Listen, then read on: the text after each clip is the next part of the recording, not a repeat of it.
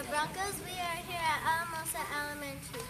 The kids from the Save the Children program have a cheer for you.